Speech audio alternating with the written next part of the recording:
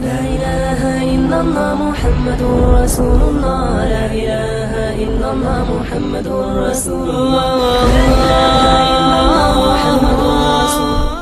آج جو واقعہ آپ سے شیئر کرنے جا رہا ہوں، اس واقعے سے ان لوگوں کے ذہنوں سے تو پردے اٹھ جانے چاہیے جو اہل بیت رسول صلی اللہ علیہ وآلہ وسلم اور صحابہ کرام کے درمیان کسی قسم کی رنجش کا بلیف کرتے ہیں۔ اگر دیکھیں نا، انسان اگر کسی سے ناراض ہو، کسی سے نالاں ہو، تو کیا اس کو اپنی بیٹی دیتا ہے؟ کیا اس کو اپنا داماد بنا لیتا ہے؟ کیا اس سے رشتہ داریاں جوڑتا ہے؟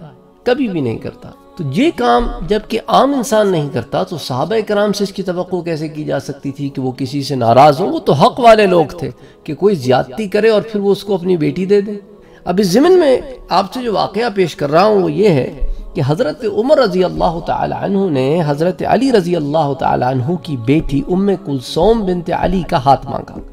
اور ام کلثوم بنت علی جو ہیں، یہ حضرت علی رضی اللہ تعالیٰ عنہ اور بی بی فاطمت الزہرہ رضی اللہ تعالیٰ عنہ کی بیٹی ہیں۔ حسنین کریمین کی بہن ہیں۔ حضرت علی نے اپنی بیٹیوں کی شادی حضرت جعفر بن ابی طالب کے بیٹوں سے طے کر رکھی تھی کہ بھئی میں اپنے بھائی کے بچوں سے اپنی بیٹی بیٹیوں کی شادی کروں گا۔ تو حضرت عمر رضی اللہ تعالیٰ عنہ کی حضرت علی سے ملاقات ہوئی۔ حضرت عمر نے فرمایا، یا ابا الحسن، آپ اپنی بیٹی ام کلثوم بنت فاطمہ، دیکھیں نا نسبت کیا دی۔ یہ نہیں کہا ام کلثوم بنت علی۔ تو پھر علی کی طرف نسبت کے بجائے فاطمہ کی طرف نسبت کی کہ وہ جو اہل بیت کی ایک بیٹی ہے۔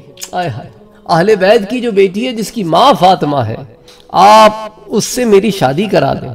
حضرت علی نے فرمایا، میں نے اس کو تو حضرت جعفر کے بیٹے کے لیے طے کر دیا ہے۔ حضرت عمر نے فرمایا، اللہ کی قسم، زمین پر مجھ سے زیادہ کوئی اس کو اچھی طرح رکھنے والا نہیں۔ یا اب الحسن، میرا اس سے نکاح کر دیں۔ آئے ہائے ہائے دیکھیں نا۔ اللہ کے رسول صلی اللہ علیہ وآلہ وسلم کی آل سے رشتہ، نسبت جوڑنے کے لیے حضرت عمر رضی اللہ تعالیٰ عنہ، حضرت علی سے درخواست پہ درخواست کر رہے ہیں۔ علی، میرا رشتہ جوڑ دیں۔ اپنے گھرانے سے اور وہ بھی فاطمہ کی بیٹی سے۔ اللہ اکبر، آگے بھی سناتا ہوں، پھر بعد میں کیا ہوا؟ تو اس کے بعد حضرت علی رضی اللہ تعالی عنہ نے عرض کیا، تو میں نے اس کا یعنی ام کلثوم بنت فاطمہ کا آپ سے نکاح کر دیا۔ یا امیر المؤمنین۔ تو دیکھیں حضرت علی کرم اللہ وجہ حضرت عمر کو کیا کہہ رہے ہیں؟ یا امیر المؤمنین۔ یعنی کہ وہ مانتے ہیں کہ حضرت عمر کیا ہے امیر المؤمنین ہیں۔ اچھا حضرت عمر رضی اللہ تعالی عنہ اس کے بعد پاک نبی محمد مصطفیٰ صلی اللہ علیہ وسلم کی قبر انور اور ممبر اقدس کے درمیان بیٹھے اور مہاجرین و انصار حضرت عمر رضی اللہ تعالی عنہ کے پاس اکٹھے ہو گئے۔ حضرت عمر نے فرمایا، لوگوں، اے گروہ انصار، اے گروہ مہاجرین، مجھے خوشخبری دو، شادی کی۔ لوگوں نے پوچھا، کس کے ساتھ یا امیر المومن یعنی دیکھیں نا، حضرت عمر رضی اللہ تعالیٰ عنہ نے کہ کسی اور شادی کا یہ اہتمام نہیں ملتا۔ جو اس شادی کا ملتا ہے، تو اس سے پتا چلتا ہے کہ صحابہ کرام کو آل بیت سے کیا نسبت تھی۔ وہ اللہ اکبر اللہ اکبر۔ کہتے ہیں، مجھے خوشخبری دو، اعلان کر رہے ہیں صحابہ سے، مجھے خوشخبری دو، اس شادی کی خوشخبری دو۔ تو لوگوں نے کہا کہ بھائی، کس کے ساتھ شادی ہو رہی ہے؟ جس کی خوشخبری آپ ہم سے کہہ رہے ہیں کہ دو مجھے، ورنہ تو ہوتا کیا ہے، لوگوں میں اعلان کیا جاتا ہے، لوگ خود خوش، خوشخبری دیتے ہیں۔ کوئی خوشخبریاں مانگتا نہیں پھرتا۔ لیکن یہ وجہ ایسی تھی کہ لوگوں سے کہا جا رہا ہے، خوشخبریاں دو مجھے، کیونکہ آج میں اس شادی کا حقدار ہوں۔ کسی اور سے شادی ہوتی تو خوشی کا حقدار نہ تھا۔ آج خوشی کا حقدار ہوں۔ مجھے مبارک دو۔ لوگوں نے کہا، کس سے شادی ہو رہی ہے جو آپ مبارک بات کی کا کہہ رہے ہیں؟ تو کہنے لگے کہ ام کلثوم بنت فاطمہ کے ساتھ۔ بے شک میں نے حضور اکرم صلی اللہ علیہ وآلہ وسلم کو یہ فرماتے سنا، ہر سبب اور ہر نصب ہر رشتہ داری قیامت کے روز ختم ہو جائے گی، سوائے میرے سبب، میرے نصب کے۔ اللہ اکبر یعنی روز محشر بھی حضور کا سبب اور نصب کام آئے گا۔ دنیا کی کوئی رشتہ داری اس روز کام نہیں آئے گی۔ باپ بیٹے کو چھوڑ دے گا، شوہر بیوی کو چھوڑ دے گی، بچہ والدین کو چھوڑ دے گا۔ یہ سارے رشتے ایک دوسرے سے ادھر ادھر ہو جائیں گے۔ لیکن حضور کی نسبت اور حضور کا سبب، حضور کا سبب روز محشر بھی کام آئے گا۔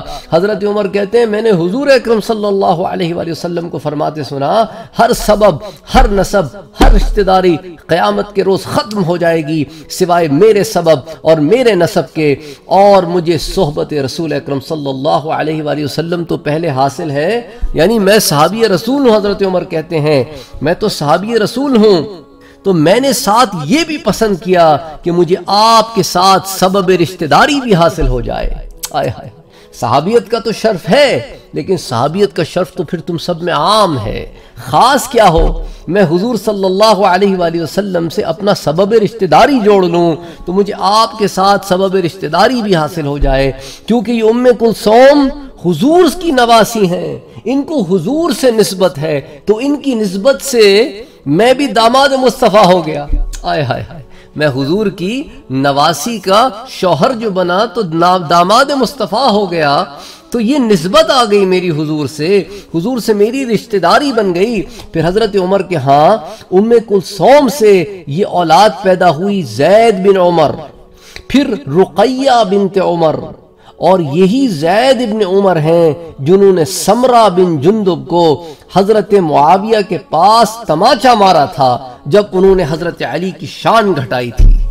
اللہ اکبر اللہ اکبر، کس نے سمرہ بن جندب نے شان علی میں کوئی گستاخی کی؟ تو حضرت عمر کے بیٹے، کس نے حضرت عمر کے بیٹے زید بن عمر نے تماچا مارا تھا اور اس وقت حضرت معاویہ کے سامنے مارا تھا؟ تو یہ دیکھیں کہ اہل بیت اتحار کی محبت، ان کی عظمت صحابہ کرام اور ان کے گھروں میں رچی بسی تھی۔ اور حضرت زید بن عمر کے حضرت علی کون ہیں؟ نانا ہیں۔ نانا، کہ میرے نانا کی شان میں گستاخی کرتے ہو تم۔ اور میں یہاں موجود ہوں۔ اللہ اکبر اللہ اکبر۔ تو یہ محبت ہے، یہ مودت ہے، یہ پیار ہے، یہ احترام ہے، یہ لحاظ ہے، یہ الفت ہے۔ اللہ اکبر، پتہ نہیں وہ کون لوگ ہیں جو صحابہ کرام اور اہل بیت کے درمیان رنجشیں اپنی من گھڑت بیان کر کے ان میں ڈسٹنسز پیدا کرتے ہیں اور لوگوں کے دماغ خراب کرتے ہیں۔ اللہ تعالیٰ ایسے فسادیوں سے محفوظ رکھے اور انہیں ہدایت دے۔ اس واقعے کو تو بہت ساری کتابوں میں بیان کیا گیا ہے۔ اس تفصیل کے ساتھ تمام واقعات کو جمع کر کر العقد الفرید کی جلد نمبر سات، صفحہ نمبر ایٹی فور پر یہ تمام واقعہ بڑی تفصیل کے ساتھ بیان کیا گیا ہے۔ ہمارے چینل کو سبسکرائب کرنا نہ بھولیں اور بیل کے آئیکن پر کلک کریں تاکہ آپ کو ریگولر نوٹیفیکیشن اپڈیٹس مل سکیں۔